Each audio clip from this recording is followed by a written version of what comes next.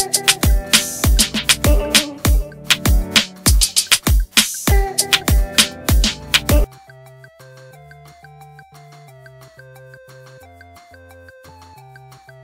เปิดภาพนาทีระเบิดกลางเมืองหลวงยูเครนหลังปูตินประกาศสงครามดับหลายร้อยราย เปิดภาพนาทีระเบิดกลางเมืองหลวงยูเครนหลังปูตินประกาศสงครามดับหลายร้อยรายยังมีเสียงระเบิดต่อเนื่องในหลายพื้นของยูเครนด้วย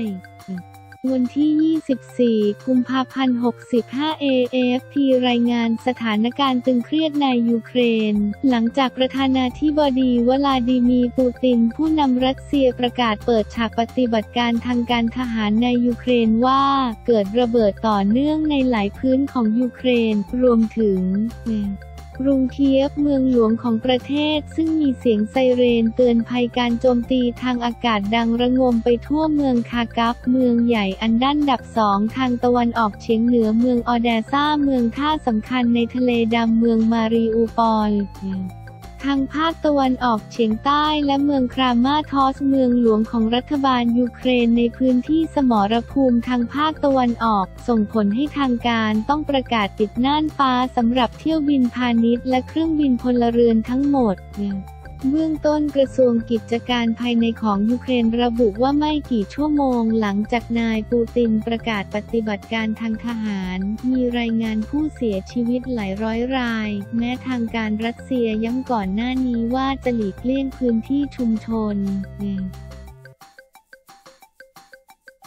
และพุ่งเป้าโจมตีเฉพาะกองทัพ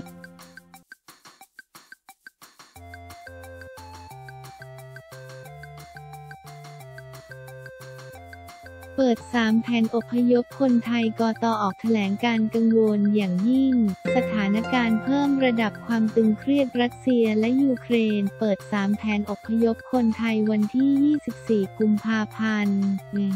นายธานีแสงรัฐอธิบดีกรมสารนิเทศและโฆษกกระทรวงการต่างประเทศกตกล่าวว่าไทยออกแถลงการเกี่ยวกับสถานการณ์ในยูเครนโดยระบุว่า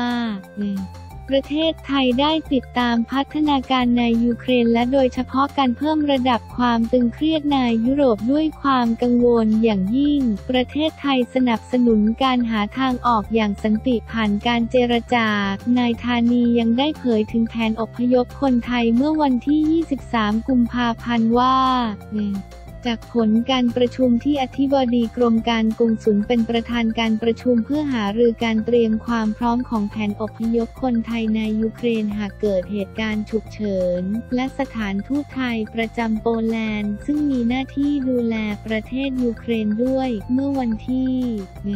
วันที่ 17 กุมภาพันธ์ ที่ผ่านมานั้นแผนอพยพคนไทยในยูเครนกรณีมีความจำเป็นมีรายละเอียดดังนี้นายธานีกล่าวว่าสถานทูตกำหนดให้เมืองละวีฟละวีฟซึ่งมีสนามบินนานาชาติเป็นฐานหลักในการอพยพคนไทย แผนอพยพที่หนึ่ง การอพยพคนไทยกลับไทยโดยเครื่องบินเช่าเหมาลำจากเมืองลาวีฟ ซึ่งเป็นแผนที่กระทรวงให้ความสำคัญสูงสุด โดยสถานทูตได้ประสานขอให้เจ้าของร้านที่มีลูกจ้างคนไทยวางแผนในการนำคนไทยจากเมืองต่างๆ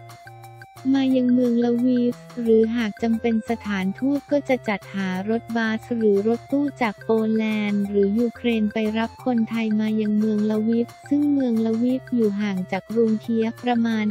540 กิโลเมตร ใช้เวลาเดินทาง 8-9 ชั่วโมง และอยู่ห่างจากเมืองโอเดสซา โอเดซาเกือบ 800 กิโลเมตร ใช้เวลาเดินทาง 11-14 ชั่วโมง ขบวนทหารมุ่งหน้าลงใต้ในเมืองโกล็อกชิโน ประเทศรัสเซียเมื่อวันที่ 23 กุมภาพันธ์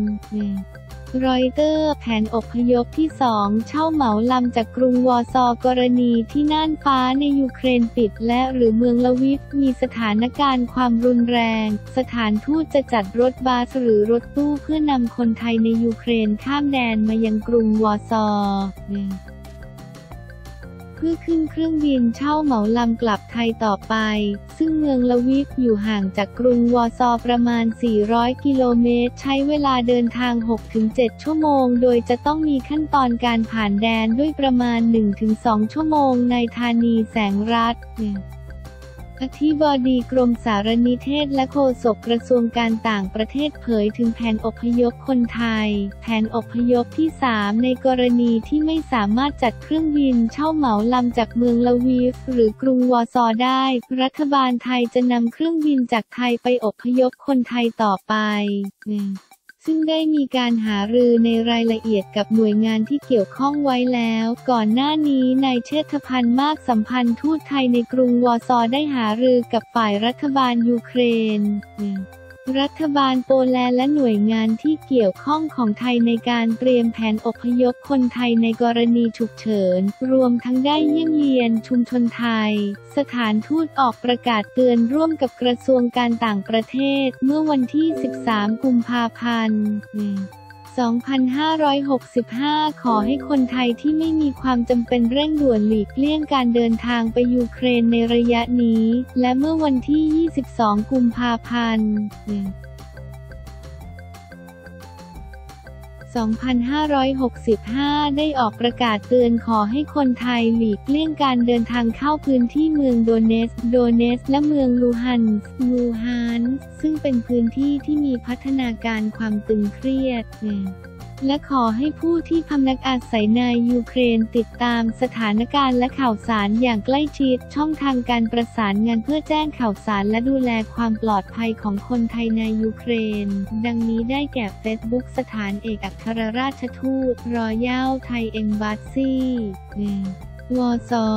โปแลนด์ และเฟซบุ๊กกลุ่ม คนไทยในประเทศยูเครน กลุ่มไลน์ระหว่างสถานทูตกับชุมชนไทยในยูเครนเพื่อสื่อสารกับคนไทยได้อย่างรวดเร็วและทันเหตุการณ์ยิ่งขึ้น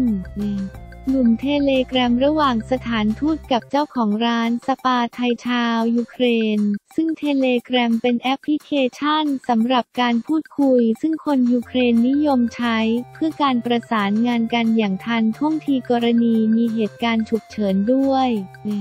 ตลอดจนหมายเลขสายด่วนบวก 48696642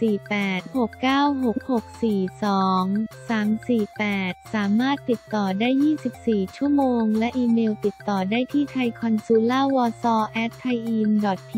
ข่าวที่เกี่ยวข้องทูตลงพื้นที่ยูเครนสำรวจความพร้อมเตรียมทำแผนอพยพคนไทย ท่ามกลางวิกฤตกอตเตรียมแผนอพยพคนไทยสถานการณ์ตึงเครียดรัสเซียและยูเครน ทูตสหรัฐรัสเซียฉะเดือดปมยูเครนกลางเวทีสหประชาชาติ